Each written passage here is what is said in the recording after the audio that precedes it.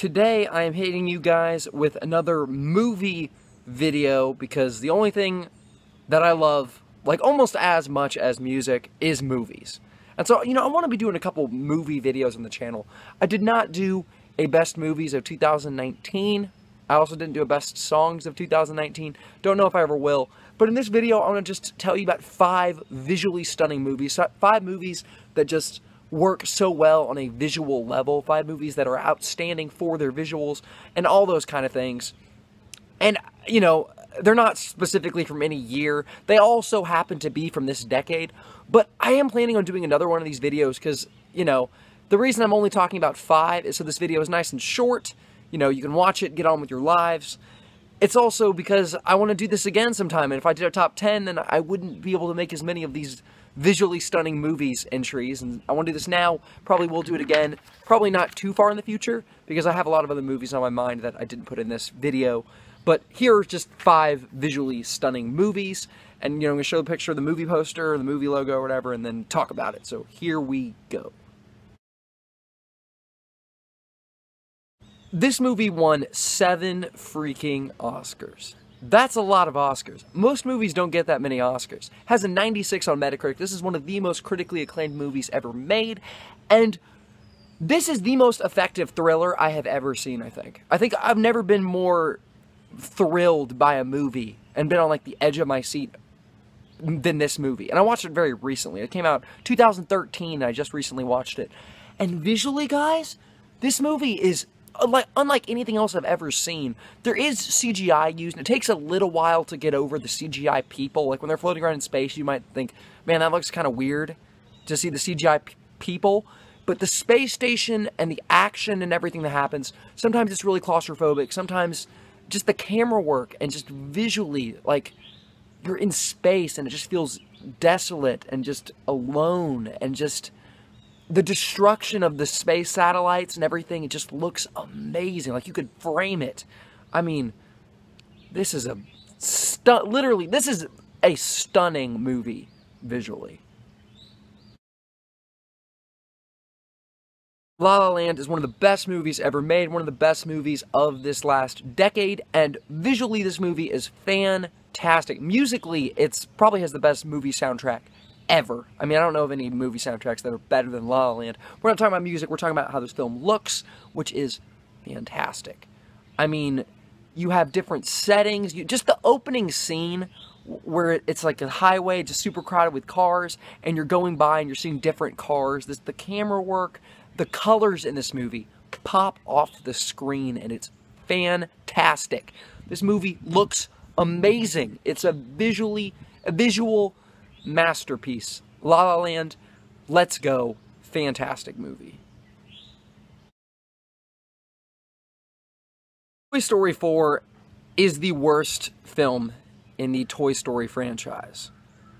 Narratively, in terms of plot, in terms of writing, in terms of really, and it just didn't need to be made because the first three are such fantastic films. This one just really falls short. The one area where this film does not fall short is in the visual department because this film looks incredible. It looks amazing. I mean, honestly, this thing just, man, man, like I'm watching this movie and I'm like, it's just the setting for this one is really great. It takes place in like a carnival and then it takes place in an antique shop and having the characters, having the point of view from toys, from these tiny little characters instead of humans, makes everything feel grand and huge and epic. Makes the carnival just, especially the antique shop, just looks amazing. The the dummy, the slappy dummy dolls look amazing. They look like almost real, and just the you know the porcelain of the of the Bo Peep character just shiny, and it's just it's a shiny movie, bro. It's just like this film and this is CGI animation at its absolute finest. It looks amazing. The Lighthouse is extremely unique from a visual perspective because one, it's black and white. And two, it's on this like tiny ratio. So instead of being like full screen like the video you're watching where it's like this wide and this tall, it's like this wide and this tall. Instead of a rectangle, it's a box. It's like this big.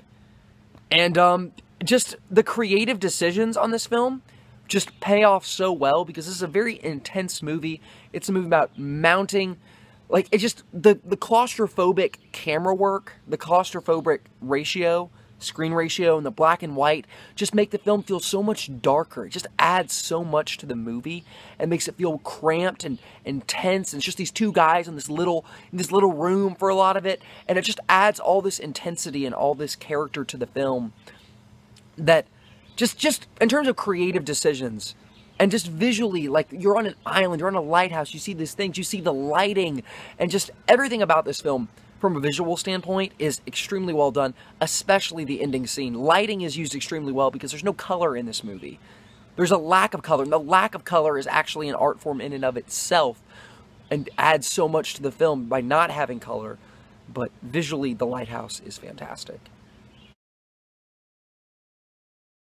last film I have on here is kind of a weird pick because like Toy Story 4, this is not the best movie. Like, this is honest, this is easily, out of these five movies, this is easily the worst movie on this list. I wouldn't even say this is a great movie.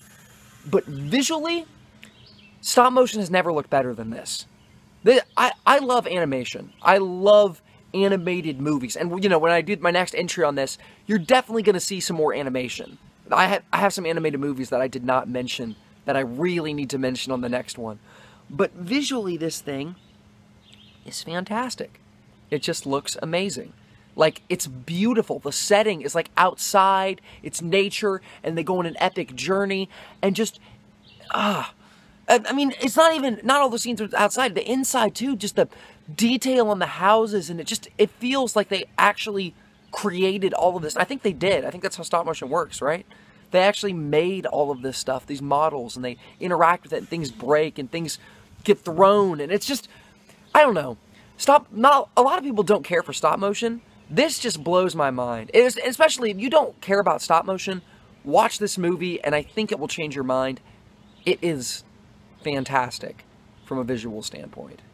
That's all I got for this video like I said, I really want to do another one of these because one of my favorite things about movies and that makes movies different from music or reading a book, which I also love to do, is the visuals, is how the film looks, how it's shot, the colors or the lack of colors, as in the case of The Lighthouse, or another movie that I'll be talking about on the next video. Yeah.